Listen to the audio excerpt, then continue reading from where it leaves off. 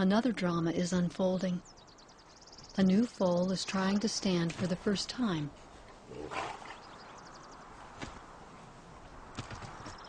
Try as it will, the little foal's back legs just don't seem to work. The mare guards it from her curious two-year-old son. As the hours pass, I realize something's wrong. Even the band stallion Boomer tries to encourage the foal. That's when another band moves into the meadow, led by the husky stallion Looking Glass. Boomer's little band moves away, and the foal tries, but cannot follow.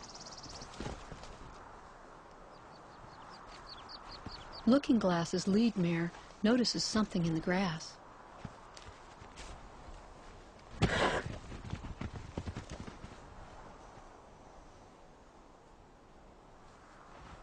She's joined by a second mare and a young stallion.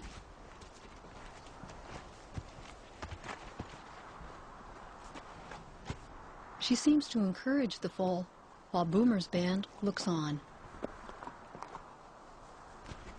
Then Looking Glass approaches, and I was shocked at what happened next.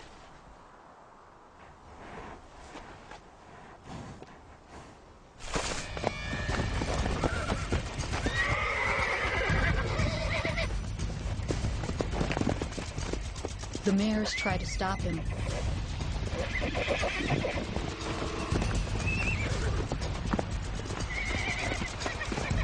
Boomer charges in, but it's too late.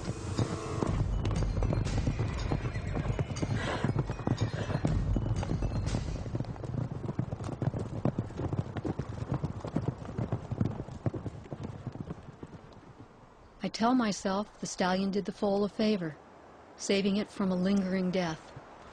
But Looking Glass's aggression is disturbing and haunting.